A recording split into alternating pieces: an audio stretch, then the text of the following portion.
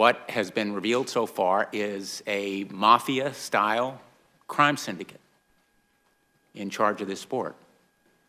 My only hesitation in using that term is that it is almost insulting to the mafia. U.S. Soccer was one of the national associations which nominated Prince Ali and then publicly supported his challenge to FIFA's longstanding president, Mr. Sepp Blatter, in the recent election.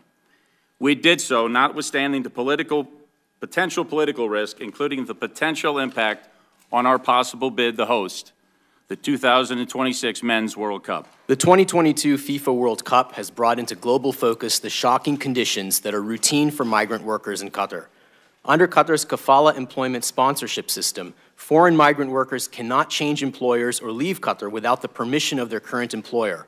Even if an employer is not paying the employee, the employer can still block the employee from changing jobs or leaving the country. Now, look, I'd like to join with everybody else in honouring America's uh, soccer players and the gracious way they and the other 23 teams conducted themselves at the Women's World Cup.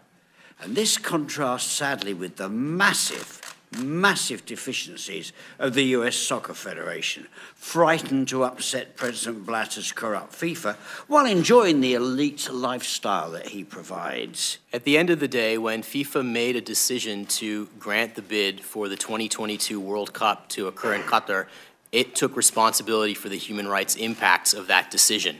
How can you say that? Why, why is that true?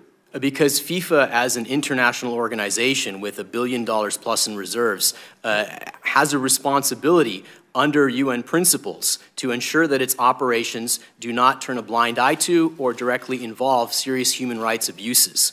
And it's pretty clear that human rights abuses uh, and labor exploitation are rampant in Qatar today. Blatter's FIFA ticks all the boxes defining an organized crime syndicate seizing and holding power, massive stealing, running rackets, compromising and outwitting the public authorities, and hiding their criminality behind the world's most popular game. After seven years of probing these sleaze bags and putting up with their legal threats and their attacks on my computers, I was invited to meet FBI special agents in London. Their business cards said organised crime. I wasn't alone anymore. The real people had arrived. In August 2011, I gave them financial and other documents uh, about America, that, that America's Chuck Blazer had hid from the fans and the public. US soccer had to know that Blazer and his fellow crook Jack Warner from Trinidad, you know, fighting extradition at the moment, with the approval of Blatter, were looting regional football and evading rightful taxes. But they looked away. As a fan, as well as a public official, as a parent, uh, let me just suggest that sometimes inaction and silence signal complicity. And there'll be a point where, in effect, U.S. soccer is complicit in the ongoing lack of reformer action. When the rest of the world has been categorizing, listing corruption at FIFA and at CONCACAF and documented, the sponsors have said, oh, well, we, we only support the World Cup, we don't support FIFA.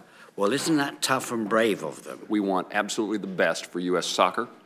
I think the point I would make is that we can't tolerate the status quo uh, and that there are serious consequences uh, from that uh, status quo. They're real and, uh, in some instances, uh, life threatening or perhaps life taking.